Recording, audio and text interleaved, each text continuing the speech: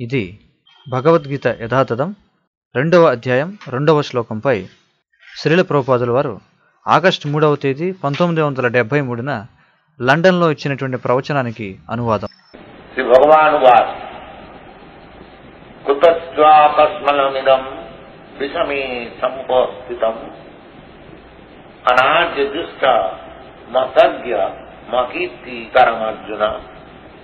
తాత్పర్యం శ్రీకృష్ణ భగవానుడిట్లు పలికెను. ఓ ప్రియమైన అర్జున ఈ క్లిష్ట సమయమునందు ఇట్టి కల్మషము నీకు ఎచ్చటి నుండి దాపురించినది? జీవితపు విలువ నిరిగిన మానవునకు ఇది అర్హము కానట్టిది. ఇది ఉన్నత లోకములకు దారి తీయదు సరికదా? అపకీర్తిని కలిగించును. ఈ శ్లోకం వ్యాసదేవులు వారు రాస్తున్నారు. అయితే ఇది సంజయుడి ద్వారా చెప్పబడింది. కానీ అసలైన గ్రంథకర్త వ్యాసదేవులు వారు. ఇతర శ్లోకాలలో ఆయన అర్జున ఉవాచ సంజయ్ ఉవాచ ఆ విధంగా రాస్తారు. అదేవిధంగా ఇక్కడ ఆయన కావాలంటే కృష్ణ ఉవాచ అని రాసి ఉండవచ్చు. ఆ విధంగా రాసి ఉండవచ్చు ఆయన కానీ అలా చేయలే. ఆయన ఇక్కడ భగవాను వాచ అని రచించారు. అంటే కృష్ణుడు భగవంతుడు. ఆయన ఈ విధంగా రాయడం ద్వారా ఇది నిర్ధారించబడింది. శ్రీ భగవాను వాచ కనుకనే కృష్ణుడు అర్జునుడితోటో లేదా సంజయుడితోటో వ్యాసదేవుల వారు ఈ కారణం చేతనే కృష్ణుడిని అర్జునుడితోటో లేదా సంజయుడితోటో సమానంగా రచించలేరు. అసమూర్ధ్వ అని చెప్పబడింది. భగవాన్ అంటే పూర్ణ పురుషోత్తమ భగవానుడు. ఆయన అత్యున్నతమైనటువంటి వాడు. ఎవరు కూడా ఆయనతో సమానం కాదు. ఎవరూ ఆయన కంటే ఉన్నతులు కారు. అందరూ కూడా ఆయన కంటే అధములే. అది భగవాన్ అంటే అర్థం. ఎవరు కూడా నేనే భగవంతుణ్ణి అని ప్రకటించుకోలేరు. కానీ ఈ రోజుల్లో చాలామంది వెధవలు ఉన్నారు వాళ్ళు అందరూ భగవంతుడే అని ప్రకటిస్తూ ఉంటారు. మరి వ్యాసదేవుల వారు తప్పుగా రచించారా? వాస్తవానికి మాయావాది తత్వవేత్తలు ఎవరైతే ఉన్నారో వాళ్ళు చాలా గొప్ప వెధవలు. వాళ్ళు కొన్నిసార్లు ఆ విధంగా చెబుతూ ఉంటారు. వ్యాసదేవుల వారు కూడా తప్పుగా వ్రాశారు అన్నట్టుగా. అంటే వాళ్ళకు వ్యాసదేవుల వారు తప్పుగా రచించారు అని చెప్పగలిగే ధైర్యం ఉంది. వ్యాసదేవుల వారు నారాయణుని యొక్క అవతారంగా అంగీకరించబడింది. ఆయనే ఈ వైదిక గ్రంథాలను ఎన్నో పుస్తకాలను ఇచ్చారు ఆయన. వేదాలు పురాణాలు మహాభారతం శ్రీమద్ భాగవతం వేదాంత సూత్రం. అంతా కూడా వ్యాసదేవుల వారి చేతనే రచనాపూర్వకంగా ఇవ్వబడింది. ఆయన నారాయణుడిగా అంటే నారాయణుని యొక్క అవతారంగా అంగీకరించబడ్డాడు. మహాముని కృతే ఆయనే వ్యాసముని. కానీ ఆయన కూడా ఇక్కడ మహామునికృతే అని చెప్పబడ్డారు. కనుక వ్యాసదేవుల వారు రచించినటువంటి పదాల్లో ఎటువంటి తప్పు ఉండబోదు. ఇదే వచ్చినటువంటి ఇబ్బంది. ఒక వ్యక్తి గురు శిష్య పరంపరాగతంగా రాకపోతే అప్పుడు వాళ్ళు ఎన్నో విధాలుగా తప్పు చేసేటువంటి అవకాశం ఉంటుంది. వ్యాసదేవుల వారు ఈ తప్పులన్నిటికీ కూడా అతీతమైనటువంటి వారు. ఆయన ఒక సాధారణమైనటువంటి రచయిత కాదు. ఆయన ఏదో భౌతికమైనటువంటి వివరణ కోసం భౌతికమైనటువంటి పేరు ప్రతిష్టల కోసం ఆయన ప్రయత్నించడంలా. వ్యాసదేవుల వారు తప్పు చేయరు. ఏ విధంగా భగవంతుడైనటువంటి కృష్ణుడు తప్పు చేయడో అదేవిధంగా భగవంతునికి అవతారమైనటువంటి వ్యాసదేవుల వారు కూడా ఎన్నడూ తప్పు చేసే అవకాశం లేదు.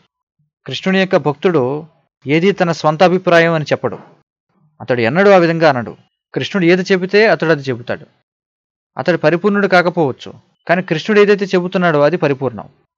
అందుకే ఒక శుద్ధ భక్తుడు కృష్ణుడు మాట్లాడిన దానికంటే అతీతంగా ఏది కూడా మాట్లాడడు.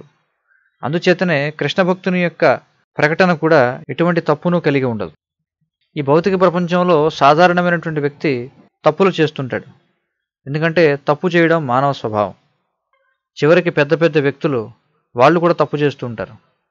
కానీ నారాయణ పరహ నారాయణుడు దివ్యమైనటువంటి వాడు. కృష్ణుడు దివ్యమైనటువంటి వాడు. వాళ్ళలో ఇటువంటి తప్పు ఉండేటువంటి అవకాశం లేదు. ఎటువంటి భ్రమ ఉండేటువంటి అవకాశం లేదు. ఈ భౌతిక ప్రపంచంలో ఉన్నటువంటి వాళ్ళకి నాలుగు లోపాలు ఉంటాయి వాళ్ళు తప్పులు చేస్తారు భ్రమకి లోనవుతారు. వాళ్ళ ఇంద్రియాలు అపరిపూర్ణంగా ఉంటాయి. భ్రమ ప్రమాద విప్రలిప్స అంతేకాకుండా వాళ్ళు మోసగాళ్ళు కూడా. ఎందుకంటే ఈనాటి ఆధునిక కాలపు సైంటిస్టులని తత్వవేత్తల్ని మీరు చూడండి. వాళ్ళు ఎన్నో శాఖల జ్ఞానం గురించి ప్రచారం చేస్తూ ఉంటారు. కానీ ఒక ముఖ్యమైనటువంటి విషయంలో వాళ్ళు పట్టుబడినప్పుడు వాళ్ళు అంటారు నాకు సంపూర్ణంగా తెలియదు. మేము తెలుసుకోవడానికి ప్రయత్నిస్తున్నాం. భవిష్యత్తులో మీకు పరిపూర్ణమైనటువంటి దాని గురించి చెబుతాం అని అంటారు. మరి మీరు పరిపూర్ణమైనటువంటి జ్ఞానాన్ని కలిగి లేకుంటే మీరు ఎందుకు ఒక బోధకుడి స్థానాన్ని స్వీకరిస్తున్నారు? మీ జ్ఞానం అసంపూర్ణమైనటువంటిది అయితే మీరు మాట్లాడిన ప్రతీది కూడా అసంపూర్ణమే అవుతుంది. అందుకే అసంపూర్ణ జ్ఞానంతో మీరు ఎందుకు బోధకులు అవ్వాలి? అది మోసం అవుతుంది. అది మోసమే. అందుచేతనే కావాలనే వ్యాసదేవులు వారు ఇక్కడ శ్రీ భగవాను వాచ అని రాస్తున్నారు. భగవాను వాచ అంటే ఎక్కడైతే మోసం ఉండదో అపరిపూర్ణత ఉండదో భ్రమ ఉండదో తప్పులుండవో అది. నాలుగు విషయాలున్నాయి. ఎటువంటి తప్పు లేదు భ్రమ లేదు మోసం లేదు అపరిపూర్ణత లేదు. అది భగవాన్ అంటే. మనం ఎందుకు ఈ భగవద్గీత గురించి చాలా గంభీరంగా మాట్లాడుకుంటున్నాం? మనం చదవదగిన ఎన్నో పుస్తకాలు ఉన్నాయి ఎన్నో సిద్ధాంతాలున్నాయి ఎంతోమంది తత్వవేత్తలు ఉన్నారు పెద్ద పెద్ద తత్వవేత్తలు. కానీ మనం వాళ్ళని స్వీకరిద్దాం. ఎందుకంటే వాళ్ళందరూ కూడా లోపభూయిష్టమైనటువంటి వాళ్ళు కాబట్టి. గ్రంథకర్త ఖచ్చితంగా తప్పు చేసే అవకాశం ఉంటుంది. అతడు భ్రమకి లోనై ఉన్నాడు. ఎందుకంటే అతని యొక్క ఇంద్రియాలు పరిపూర్ణం కాదు. అందుచేతనే ఈ అపరిపూర్ణత అంతా కూడా. మరి ఈ లోపాలన్నీ ఉండగా అటువంటి వాళ్ళ యొక్క జ్ఞానాన్ని మనం స్వీకరించలేం. ఇది వైదిక పద్ధతి. దీనినే పరంపరా విధానం అని అంటారు. మనం జ్ఞానాన్ని పరిపూర్ణంగా పూర్ణ పురుషోత్తమ భగవానుడి నుండి స్వీకరిస్తాం. మరి నేను భగవంతుడి నుండి జ్ఞానాన్ని స్వీకరించినట్లయితే అదే జ్ఞానాన్ని నేను భగవంతుడు చెప్పిన విధంగా ప్రచారం చేసినట్లయితే ఎటువంటి స్వంత వ్యాఖ్యానం లేకుండా మోస ప్రవృత్తి లేకుండా అప్పుడు ఏదైతే జ్ఞానాన్ని నేను ప్రచారం చేస్తున్నానో వితరణ చేస్తున్నానో అది కూడా పరిపూర్ణమే అవుతుంది. నేను పరిపూర్ణం కాకపోవచ్చు కానీ నేను కృష్ణుడి నుంచి తీసుకునేటువంటి జ్ఞానం ఏదైతే ఉందో నేను దాన్ని యథాతథంగా ఇచ్చినట్లయితే ఎటువంటి వ్యాఖ్యానం లేకుండా అప్పుడు నేను మీకు ఏదైతే ఇస్తున్నానో అది పరిపూర్ణం అవుతుంది. ఇది అర్థం చేసుకోవడం చాలా సులభం. నేను ఎన్నోసార్లు మీకు ఉదాహరణ చెప్పాను. ఇది ఎలాంటిదంటే ఒక బంట్రోతు ఒక వెయ్యి డాలర్లు విలువైనటువంటి మనీ ఆర్డర్ మీకు తీసుకొచ్చాడు. అది మీకు ఇస్తున్నాడు. మీరు అతనితో ఓ వీడొక పంట్రోతు వీడు చాలా పేదవాడు వీడు నాకు ఏ విధంగా వెయ్యి డాలర్లు ఇస్తాడు? అని అనలేరు. ఎందుకంటే అది అతడు ఇవ్వడంలా ఆ డబ్బు మరొకరు ఎవరో మీకు పంపించారు. అతడు కేవలం అది మీకు అందజేస్తున్నాడు అంతే అందుచేతనే చైతన్య మహాప్రభు అంటారు అమార ఆజ్ఞాయ గురుహయ తార సర్వదేశ తార ఏయి దేశ ఆయన అందరినీ ఆధ్యాత్మిక గురువు కమ్మని అడుగుతున్నారు. మరి ఏ విధంగా అందరూ ఆధ్యాత్మిక గురువు కాగలరు?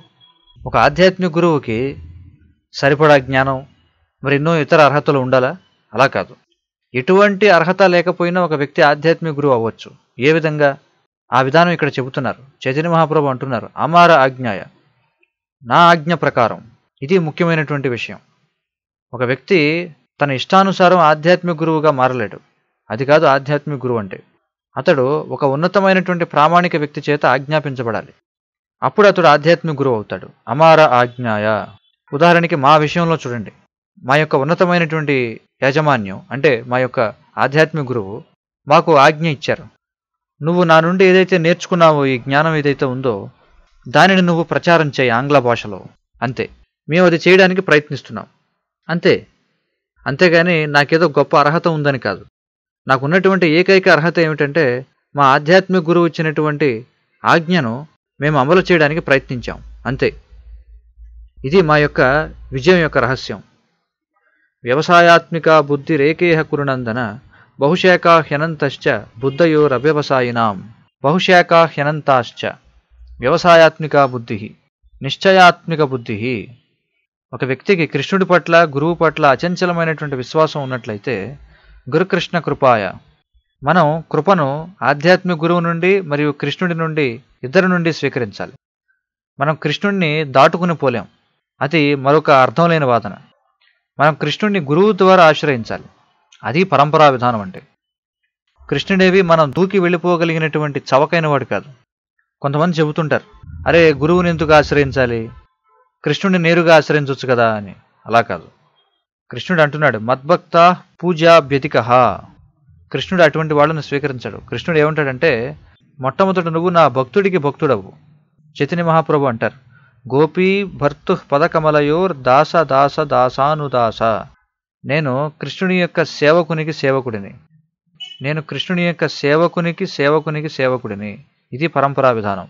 కృష్ణుడి సేవకునికి ఎలా సేవకుడవ్వాలో మీరు నేర్చుకోవాలి. మీరెంతగా అయితే అధమ స్థాయిని స్వీకరిస్తారో సేవకుడికి సేవకుడికి సేవకుడికి సేవకుడికి సేవకుడికి ఇలా వంద మంది వంద స్థాయిల్లో ఉన్నటువంటి సేవకులకి సేవకుడిగా అప్పుడు మీరు పురోగతి చెందుతారు. ఈ భౌతిక ప్రపంచంలో మీరు చూసినట్లయితే ప్రతి ఒక్కరూ యజమానులకి యజమాని అవ్వాలని ప్రయత్నిస్తున్నారు. ఇది పూర్తి వ్యతిరేకం. కానీ ఆధ్యాత్మిక ప్రపంచంలో అక్కడ ప్రయత్నం అంతా కూడా ఏ విధంగా సేవకులకి సేవకులు అవ్వాలి అని. ఇది రహస్యం. ఎస్య దేవే పరాభక్తిర్ యథాదేవే తథా గురౌ తస్యైతే కథితాహ్యర్థాహ ప్రకాశంతే మహాత్మన ఇది వైదిక ఉపదేశం కనుక విశ్వనాథ చక్రవర్తి ఠాకూర్ల వారు వ్యవసాయాత్మిక బుద్ధి రేకేహ కురునందన అనేటువంటి శ్లోకానికి సంబంధించి ఆయన అంటారు నిశ్చయాత్మిక బుద్ధి. విశ్వనాథ చక్రవర్తి ఠాకూర్ల వారు ఏమంటారంటే నా యొక్క ఆధ్యాత్మిక గురువు నుండి నేను స్వీకరించిన ఉపదేశం ఏదైతే ఉందో అదే నా ఆత్మ నా జీవితం. దీనినే నిశ్చయాత్మిక బుద్ధి అంటారు. అంటే ఇక్కడ భరోసా ఇవ్వబడింది. నేను ఏదైతే స్వీకరించానో నా ఆధ్యాత్మిక గురువు యొక్క ఆజ్ఞ అది నాకు ముక్తినిస్తుంది. లేదా మోక్షం కూడా నాకు పెద్ద విషయం కాదు. ఒక నిజమైనటువంటి భక్తుడు ఒక సేవకుడు అతడు దేనిని కూడా స్వీకరించడు. కానీ కార్యం ఇది నా యొక్క కర్తవ్యం.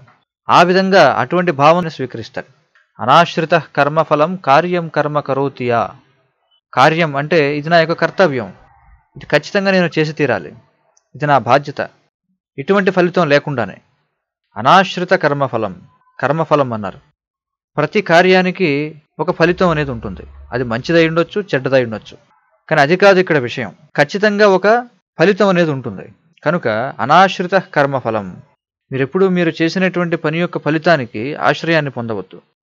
సాధారణంగా మనం పని చేస్తూ ఉంటాం. ఒకవేళ ఫలితం బాగున్నట్లయితే మనం ఇంకా పని చేయాలనుకుంటాం.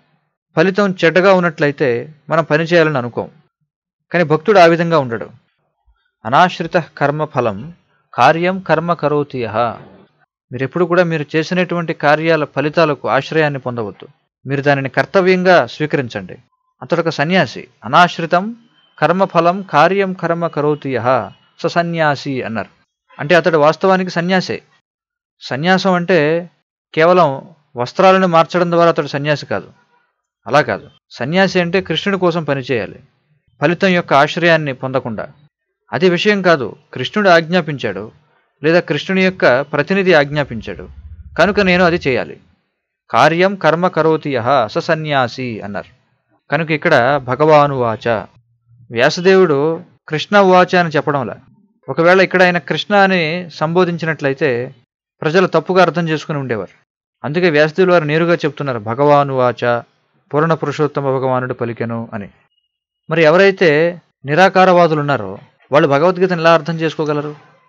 భగవంతుడు అంటే ఒక వ్యక్తి. భగవంతుడు వ్యక్తిత్వం లేనివాడు కాదు. పరమసత్యం అనేది మూడు దశల్లో వ్యక్తం అవుతుంది. బ్రహ్మము పరమాత్మ భగవాన్. బ్రహ్మము అనేది ఆరంభం అంటే నిరాకారమైనటువంటిది. సర్వం ఇదం కలు బ్రహ్మ. ఎందుకంటే ఇది ఎలాంటిదంటే అగ్ని లాంటిది. అగ్ని ఎక్కడో మండుతూ ఉంటుంది. కానీ దాని యొక్క వేడి వెలుతురు నిరాకారంగా ఉంటాయి. ఉదాహరణకి ఒక పెద్ద మంట ఉందనుకోండి. ఇది ఎలాంటిదంటే మనకి ఒక మంట వేసుకునే చోటు ఉంది. అది ఒక మూల ఉంటుంది. కానీ మంట మూల మండుతున్నప్పటికీ ఈ గది అంతా కూడా వేడిగా ఉంటుంది. కానీ ఆ వేడి నిరాకారమైనటువంటిది. కానీ ఆ మంట మండే చోటు ఏదైతే ఉందో అది ఒక రూపాన్ని కలిగి ఉంది. కనుక ఈ నిరాకార భావన ఏదైతే ఉందో ఇది ఒక వ్యక్తి నుండి వస్తుంది. అది పదమూడవ అధ్యాయంలో వివరించబడుతుంది. మయా తతమిదం సర్వం. కృష్ణుడు ఏమంటాడంటే ప్రతి చోటన కూడా నేను వ్యాప్తి చెంది ఉన్నాను. నేను ప్రతి చోటన కూడా ఉన్నాను. మరి అతడు ఏ విధంగా ఉంటాడు? తన యొక్క శక్తి రూపంలో. కానీ ఆ శక్తి నిరాకారమైనటువంటిది. కానీ భగవంతుడు ఆయన రూపం లేనివాడు కాదు. ఆయన ఒక వ్యక్తి. అందుచేతనే ఇక్కడ చెప్పబడింది శ్రీ భగవాను వాచ. భగవాన్ అంటే ఎవరైతే ఆరు రకాల ఐశ్వర్యాలను సంపూర్ణంగా కలిగి ఉంటారో అతడు.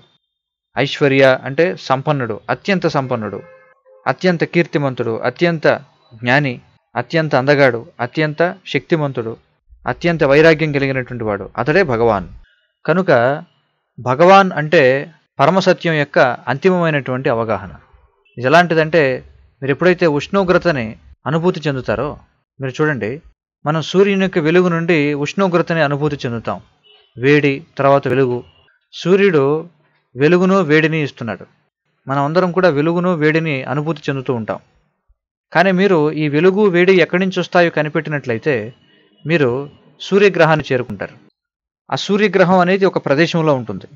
అది నిరాకారమైనటువంటిది కాదు. మళ్ళీ మీరు సూర్యగ్రహంలో ప్రవేశించినట్లయితే అక్కడ మీరు సూర్యదేవుణ్ణి వివశ్వాన్ అనే వ్యక్తిని చూస్తారు. కనుక మనం కేవలం వెలుగు వేడితో నిర్ధారించి ఊరుకోలేం. కనుక ఈ బ్రహ్మ సాక్షాత్కారం అంటే నిరాకారమైనటువంటి అవగాహన ఏదైతే ఉందో పరమసత్యానికి సంబంధించి అది అపరిపూర్ణమైనటువంటి అవగాహన. ఇది కేవలం పాక్షికమైనటువంటి అవగాహన మాత్రమే. అది పూర్తి అవగాహన కాదు. పూర్తి అవగాహన ఏమిటంటే భగవాన్. అందుచేతనే ఇక్కడ చెప్పబడింది శ్రీ భగవాను వాచ అంటే అతడు చెప్పిన దాంట్లో ఎటువంటి తప్పు ఉండే అవకాశం లేదు. అదే అంతిమం. ఇక్కడ భగవంతుడు విమర్శిస్తున్నాడు. అర్జునుడు ఒక మంచివాడు అయిపోయాడు అతడు అంటున్నాడు నేను ఎందుకు నా కుటుంబ సభ్యులను సంహరించాలి? భౌతిక దృష్టి నుండి చూసినట్లయితే దీన్ని ప్రజలు చాలా హర్షిస్తారు. ఓ ఇక్కడ అర్జునుడు ఉన్నాడు. ఎంత చక్కటివాడు. ఇతడు అహింసా విధానాన్ని పాటిస్తున్నాడు. అతడు తనకు రావాల్సినటువంటి దాన్ని వదిలేసుకుంటున్నాడు. అతడు తన అస్త్రాలను ధనస్సును బాణాలను విడిచిపెట్టేశాడు. అతడికి మీదట యుద్ధం చేయబోవడం లేదు. అతడు తన కుటుంబ సభ్యులతో యుద్ధం చేయబోవడం లేదు. వాళ్ళని చంపదలుచుకోలేదు అని అనుకుంటారు. భౌతిక దృష్టి నుంచి చూసినట్లయితే అర్జునుడు చాలా చాలా చాలా మంచివాడు. కానీ భగవంతుడైనటువంటి కృష్ణుడు ఏమంటున్నాడు ఇక్కడ? అనార్యజుష్టం. ఓరి వెధవా నువ్వు అనార్యుడిలాగా మాట్లాడుతున్నావు. కృష్ణుడు ఆ తర్వాత అంటాడు వెధవా అని. ఎందుకంటే అర్జునుడు తనను తాను ఒక మంచి వ్యక్తిగా చూపించుకుంటున్నాడు. కానీ ఎప్పుడైతే అతడు భగవంతుడి చేత పరీక్షించబడ్డాడో అప్పుడు భగవంతుడు అర్జునుడిని మంచివాడిగా పరిగణించడానికి నిరాకరించాడు. అందుకే కృష్ణుడు అంటున్నాడు నువ్వు అనార్యుడివి అని. రెండు రకాల మనుషులు ఉంటారు అనార్య ఆర్య. ఆర్య అంటే జ్ఞానంలో పురోగమించినటువంటి వాడు అతడే ఆర్యుడు. అనార్య అంటే అనాగరికుడు. కనుక వెంటనే కృష్ణుడు తిడుతున్నాడు అనార్య చుష్టం నువ్వు అనార్యుడిలాగా అనాగరికుడిలా మాట్లాడుతున్నావు. ఈ రోజులలో జనులు ఎంతగానో యుద్ధాన్ని ఎలా ఆపాలా అని చెప్పి ఆతృత వ్యక్తపరుస్తూ ఉంటారు కానీ కృష్ణుడు చెబుతున్నాడు యుద్ధం యొక్క అవసరం ఉంది. ఇది ఎలాగంటే అర్జునుడిని ఒప్పించడానికి ప్రయత్నిస్తున్నాడు. కనుక మన యుద్ధం అంటే అంటే వైదిక నాగరికత ప్రకారం అది ధర్మయుద్ధం. ఎప్పుడైతే నిజంగా యుద్ధం చేయాల్సినటువంటి అవసరం వస్తుందో అప్పుడు మనం యుద్ధం చేయాలి. అంతేగాని ఎప్పుడైతే యుద్ధం చేయాల్సినటువంటి అవసరం వస్తుందో అప్పుడు మనం అహింసా విధానాన్ని పాటించడం కాదు. ఇది ఎలాగంటే నిన్న సాయంత్రం మేము డాక్టర్ షూమాకర్తో మాట్లాడుతున్నాం. వాళ్ళు వాదిస్తున్నారు. ఏమనంటే వాళ్ళు బలపరుస్తున్నారు. దేనిని? ఒక జంతువు మీపై దాడి చేయడానికి వచ్చినప్పుడు మీరు దానిని ఎందుకు చంపాలి అని. కానీ మేము దాని గురించి మాట్లాడడంలా అలా కాదు. మీరు చంపాల్సిందే. అది అవసరం. మీరు అరణ్యానికి వెళ్ళి చంపడానికి కొన్ని జీవుల కోసం వెతకకూడదు. అది మన పని కాదు. అది హింస అవుతుంది. కానీ ఒక పులి మీ మీద దాడి చేయడానికి వచ్చినప్పుడు మీరు దానిని చంపాలి. అది ఆత్మరక్షణ. అది హింస కాదు. కనుక ఒక భక్తుడికి తెలుసు ఒక కృష్ణ చైతన్యవంతుడు అతడికి తెలుసు ఎప్పుడు చంపాలి ఎప్పుడు చంపకూడదు. అంతేగాని మేము చంపకూడదని నిర్ణయించుకున్నాం కాబట్టి ఎట్టి పరిస్థితుల్లోనూ చంపకూడదు దాన్ని ఆపివేయాలి అని కాదు. అవసరమైతే చంపడం అనే దాన్ని అంగీకరించాలి. అందుచేతనే అర్జునుడు ఇక్కడ చంపకూడదని నిర్ణయించుకున్నాడు. అంటే యుద్ధం చేయకూడదు అనుకున్నాడు కానీ కృష్ణుడు చెబుతున్నాడు ఇది అనార్య జుష్టం ఒక అనాగరికపు వెధవ మాత్రమే తీసుకుంటాడు అని చెప్పి అంటాడు కృష్ణుడు. అనార్య జుష్టం అస్వర్గ్యం అకీర్తికరం. ఎన్నో విషయాలు చెబుతాడు కృష్ణుడు అస్వర్గ్యం. ఎందుకంటే మానవ జీవిత గమ్యం పురోగమించడం. దానినే ఆర్య అంటారు అంటే పురోగమించడం. మనకిప్పుడు ఈ మానవ రూపంలో శరీరం లభించింది. దీనిని పొందడానికి మనం ఎన్నో అధమ జీవజాతులైనటువంటి జలచరాలు చెట్లు మొక్కలు కీటకాలు పక్షులు పశువులు ఇలా ఎనభై నాలుగు లక్షల జీవరాశులు దాటుకుని వచ్చాం. ఇప్పుడు నాకు ఈ నాగరికమైనటువంటి దేహం లభించింది. కనుక నా ప్రయత్నం ఏమై ఉండాలంటే ఇంకా ముందుకు ఎలా పురోగమించాలి? ఇంకా మరింతగా పురోగమించడం అనేది భగవద్గీతలో వివరించబడింది. మీరు ఉన్నత లోకాలకు వెళ్ళవచ్చు. ఊర్ధ్వం గచ్చంతి సత్వస్థాహ. ఊర్ధ్వం అంటే ఉన్నత లోకాలు. మధ్యే తిష్టంతి రాజసహ. మధ్యే అంటే మధ్యలోకాలు ఎవరైతే రజోగుణం చేత కలుషితం అయి ఉంటారో వాళ్ళు ఈ మధ్యలోకాల్లో ఉంటారు. ఇక జగన్య గుణవృత్తిస్తా అదో గచ్చంతి తామసహ ఎవరైతే నీచులైనటువంటి వాళ్ళు జగన్య గుణవృత్తిస్తాహ ఎవరైతే అత్యంత ద్వేషపూరితమైనటువంటి స్వభావాన్ని కలిగి ఉంటారో ఈ ద్వేష స్వభావం కలిగినటువంటి వాళ్ళు అక్రమ మైథునం మాంసాహారం స్వీకరించడం జోదమాడడం మత్తు పదార్థాలు స్వీకరించడం ఇవన్నీ కూడా ద్వేషపూరితమైనటువంటి ప్రకృతికి సంబంధించిన అలవాట్లు. కనుక జగన్య గుణవృత్తిస్థాహ అధోగచ్చంతి తామసహ వాళ్ళు అధోగతి పాలవుతారు. వాళ్ళు జంతువులన్నా అవుతారు. లేదా ఏడు రకాల అధమ లోకాలు ఏవైతే ఉన్నాయో తల అతల నితల పాతాళ తలాతల రసాతల ఆ విధంగా. కనుక ఆర్య అంటే పురోగతి సాధించాలి. అనార్య అంటే జీవితంలో ఏ విధంగా పురోగమించాలో తెలియనటువంటి వాడు. వాళ్ళు ఏమనుకుంటారంటే మరణం తరువాత జీవితం లేదనుకుంటారు. కనుక నాకు ఇప్పుడు జీవితం అనేది ఉంది. అందుచేత నేను నా సామర్థ్యం వరకు నేను ఇంద్రియాలను భోగించాలి. ఇది అనార్య అంటే అసుర స్వభావం. తిను తాగు గంతులై భోగించు. ఎందుకంటే ఈ శరీరం ముగిసిపోయిన తర్వాత ఇంద్రియాలు కూడా ముగిసిపోతాయి. కనుక ఇప్పుడు నేను నా ఇంద్రియాలను ఉపయోగించుకోవాలి. అందుకే అనార్య. వాళ్ళకు మరణం తర్వాత జీవితం ఉందనే విషయం తెలియదు. వాళ్ళు ఏమనుకుంటారంటే ఈ పెద్ద పెద్ద ప్రొఫెసర్లు ఈ ఐరోపాలో వాళ్ళు అదే విధంగా చెప్తారు. మరణం తర్వాత అంతా ముగిసిపోతుంది. ఇది చార్వాకమున సిద్ధాంతం. ఈ రకమైనటువంటి సిద్ధాంతం ఎప్పుడో పూర్వకాలంలో వైదిక సంస్కృతిలో స్వీకరించబడింది. స్వీకరించబడలేదు. అప్పుడు విన్నారు ఈ సిద్ధాంతాన్ని. కానీ ఇది ఎప్పుడు అంగీకరించబడల. చారవాక సిద్ధాంతం అంటారు. చారవాక సిద్ధాంతం అంటే అతడు ఒక నాస్తికుడు. ఈ చారవాకుడి తత్వం అంతా కూడా నాస్తిక తత్వం. అతడు చెబుతుండేవాడు భస్మీభూతస్య దేహస్య కుతో పునరాగమ. అంటే ఇదంతా కూడా శరీర చేతనం. అంటే అతడు ఈ శరీరాన్ని మాత్రమే దేహాన్ని మాత్రమే పరిగణిస్తాడు. ఇది బూడిదైపోతుంది. అందుకే అతడు చెప్తుండేవాడు ఎప్పుడైతే ఈ శరీరం బూడిదిగా మారిపోతుందో మళ్ళీ పుట్టేటువంటి అవకాశం ఎక్కడుంటుంది? అని. అంటే అతడికి ఆత్మ గురించినటువంటి సమాచారం లేదు. ఇది కూడా వైదిక నాగరికతలో ఉన్నవాళ్ళు విన్నారు. అనార్య అన్నారు అందుకే. ఆర్యుని సిద్ధాంతం ఏమిటంటే తర్వాతి జీవితం ఏమిటి? ఏ విధంగా పురోగమించాలి? ఇది ఆర్య అంటే. అంటే నాగరిక మనిషి. వాళ్ళు ఆ విధంగా ఆలోచించవచ్చు. కానీ కృష్ణుడు అంటున్నాడు నువ్వు ఆర్య కుటుంబానికి చెందినవాడివి పాండవ కుటుంబానికి. ఇది నీకు అకీర్తికరం. ఎందుకంటే నువ్వు కృష్ణుని యొక్క స్నేహితుడిగా ప్రాచుర్యం పొందావు. కనుక జనులు అంటారు చూడండి కృష్ణుడికి స్నేహితుడు ఇతడు పోరాటం చేయడం లేదు అని. అందుచేత అది అకీర్తికరం. అంటే పరువు పోతుంది. కనుక ఆ విధంగా చేయవద్దు. కుతః కష్మలమిదం విషమే సముపస్థితం. ఈ ప్రమాద సమయంలో నీకు ఇది ఎక్కడి నుంచి వచ్చిందయ్యా? ఇక్కడ యుద్ధం ఉంది. నువ్వు యుద్ధం చేయాలి. ఇది విషమ పరిస్థితి. నువ్వేమో భ్రమకి గురయ్యి నీ ఆయుధాలన్నింటినీ కూడా పక్కన పడేస్తున్నావు. అంతేగా నువ్వు శవనం చేస్తున్నావు. నేను యుద్ధం చేయను అని. కనుక వెంటనే అర్జునుడు మందలించబడ్డాడు. అందుచేతనే ఈ ప్రపంచంలో మంచివాళ్ళుగా పిలువబడేవారు ఎవరైతే ఉన్నారో వాళ్ళు ఎన్నో సమాజ సంక్షేమ కార్యకలాపాల్లో నిమగ్నమై ఉండొచ్చు. మానవతావాద కార్యకలాపాల్లో అంటే మానసిక కల్పన ద్వారా.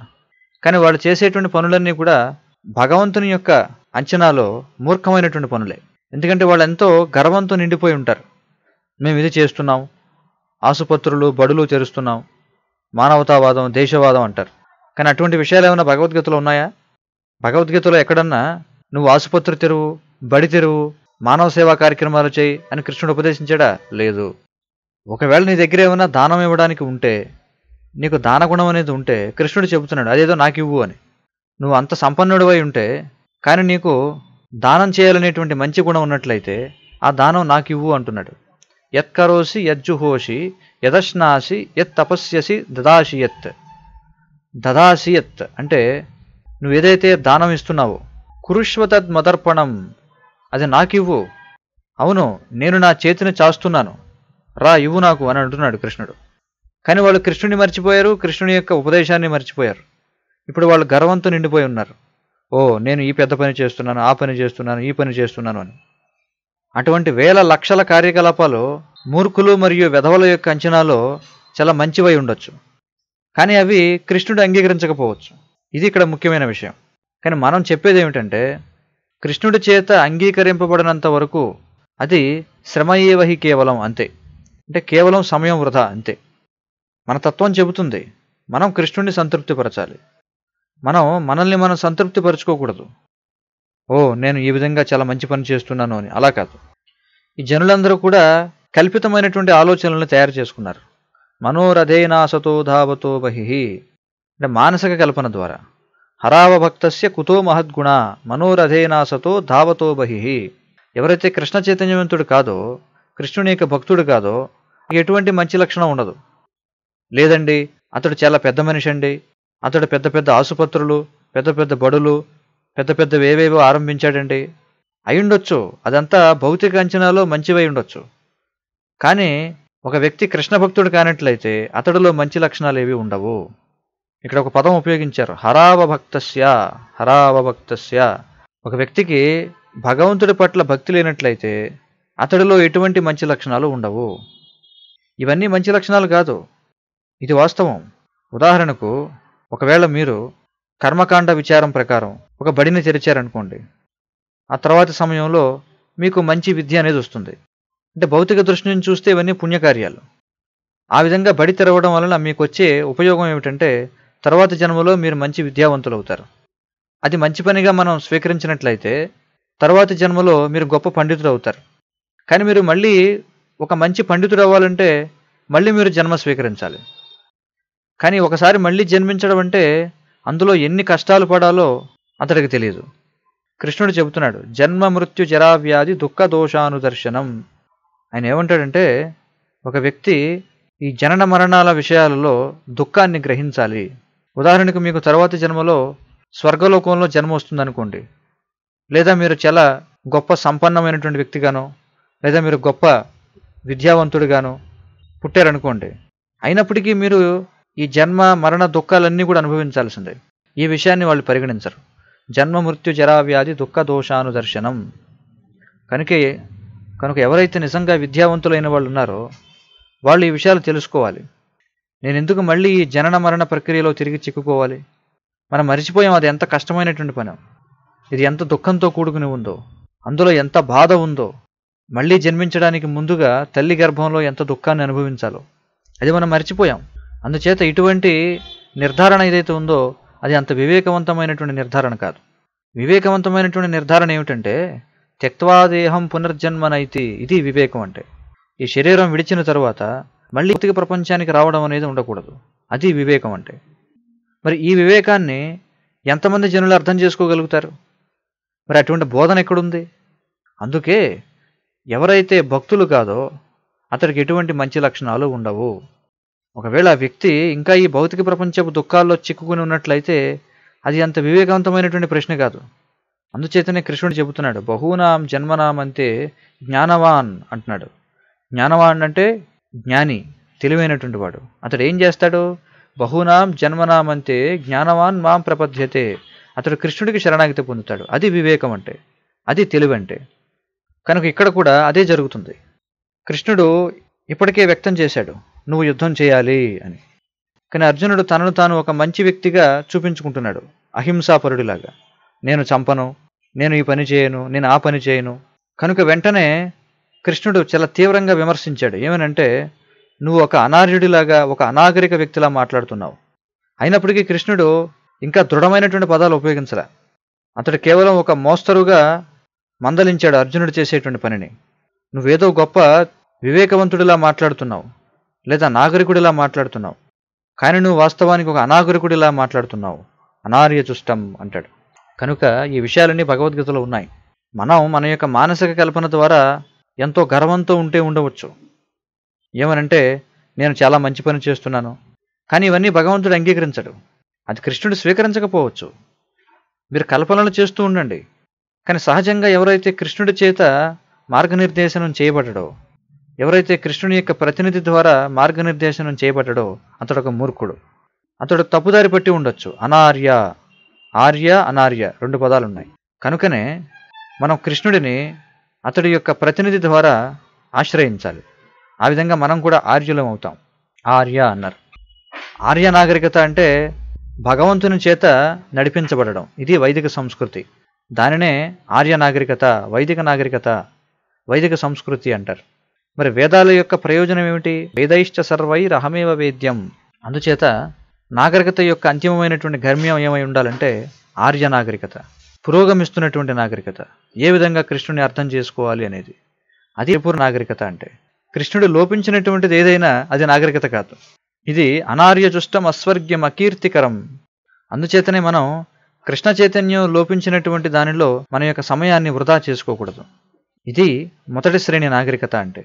చాలా ధన్యవాదాలు హరే కృష్ణ హరే కృష్ణ కృష్ణ కృష్ణ హరే హరే హరే రామ హరే రామ రామ రామ హరే హరే